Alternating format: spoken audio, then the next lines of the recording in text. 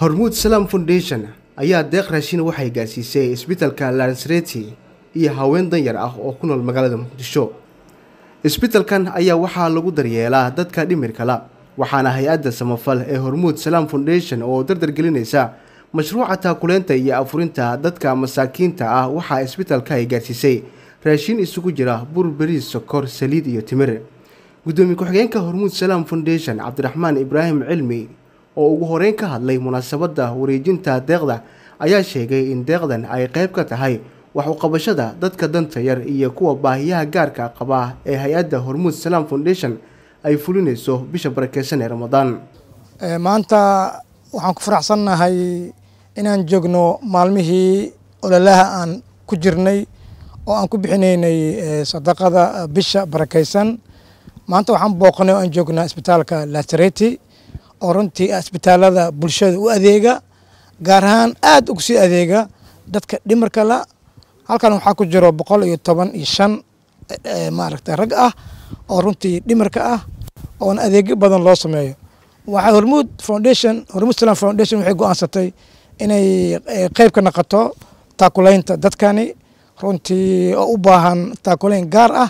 Marka waxaan rajeynaya marka raashinkaasi inuu ka mid noqdo raashinka bisha ramadaan loogu adeegayo dadka halkan ku jiro oo u baahan dad si gaar ah in loogu adeego. Runtii waxaan ugu baaqaynaa bulshada qaybeeda kala duwan inay isbitaalkani soo booqdaan oo ay arkaan dadka halkan ku jiro oo u baahan in maaragtay loo gargaaro.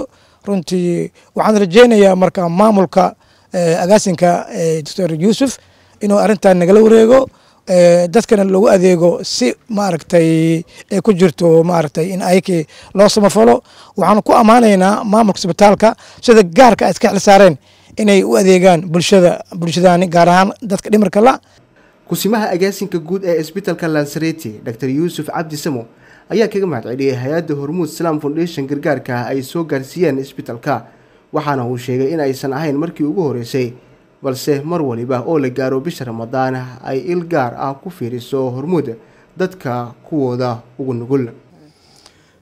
Sharaf weyn ayay maamulka isbitaalka forlini agaasinka u tahay maanta inay ka guddoomaan deeqda wax ku oolka ah oo aan is leeyahay ilaahay waafajiyey dadka dadku ugu habboon oo macduurka ah oo organka amaba qaybta ugu qaalisan dhimirka ka jiran oo haba yaraatee ilaahay xataa uu ka cafiyey cibaadaadkii oo dadka lagu kalifay maadaama iyagu ay dadkii ka xanuunsan yihiin xagga dhimirka oo laga cafiyey salaadihii wax walba laga cafiyey.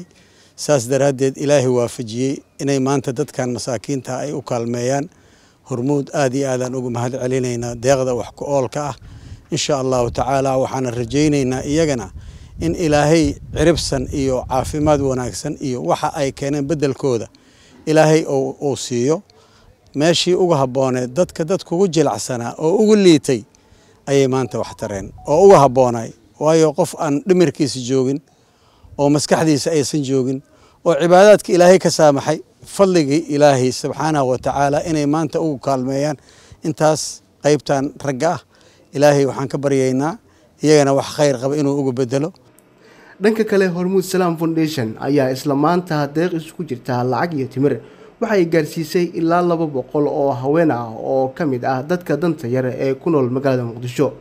Raaxa xuseen xirsi oo ah ku-xigeenka hormuud salaam foundation ayaa ka hadashay goobta haweenkaasi loogu guddoonsiinayay deeqda lacagta iyo weliba timirta waxaana ay sheegtay in deeqdan ay ugu talagaleen in haweenka danta yar ay kaalmo u noqoto inta lagu guda jiro bisha ramadaan maanta marka waxaan la joognaa haweenka qaranka soomaaliyeed waxaana soo gaarsiinay deeq isugu jirta timir iyo lacag kaash ah taas oo aan rabno inay u kaalmaystaan bisha ramadaan xagga afurka inay u kaalmaystaan.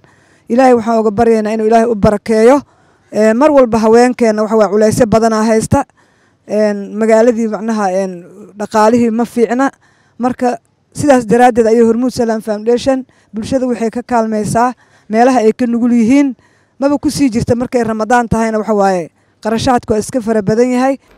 Gudoomiye ku-xigeenka ururka haweenka qaranka warsan xasan xagar oo halkaasi ka hadashay ayaa hormuud salaam foundation ku ammaantay in mar waliba ay u taagan tahay caawinta haweenka danta yar iyo kuwa aan waxba haysan markay wax qaataan waa u ducaynayaan insha allahu bidnillaahi kariim inuu ilaahay ka dhigo hay'addii adkaata ummaddeeda wax u qabata waxbay u qabataaye. Intaas iyo in ka badanna waa ka sii sugaynaa hurmuud inay mar walba iyo mar walbaba gabdhaha garab taagnaato gabdhaha waxaan u mahad celinayaa la socda hadda oo walaalaheena oo gabdho soomaaliyeeda oo sanad walba ayagu dadka soo horkaca ee keena xarunta ururka haweenka qaranka.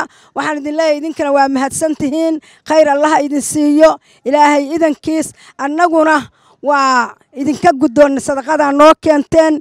Ilaahay idankiis wixii qaatana allaha uga dhigo. Hormuud salaam foundation ayaa dardar gelinaysa caawinta dadka danta yar iyo kuwa baahiyaha gaarka qaba iyadoo hay'addu marka la gaaro bisha barakeysan ee ramadaan ay fuliso. Mashaariicda noocan oo kale ah waana xili ay hay'addu wado barnaamijkaasi ku lamaanan oo dadka danta yar ahi lagu afursiinayo. Zakariya axmed muuse t v-ga shabeelle muqdisho